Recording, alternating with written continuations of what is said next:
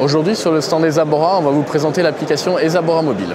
Esabora Mobile, c'est une application pour les installateurs qui va leur permettre de fluidifier leur travail en situation de mobilité. Concrètement, l'installateur va disposer de diverses fonctionnalités en situation de mobilité, donc notamment l'accès à la CRM, l'accès à ses clients.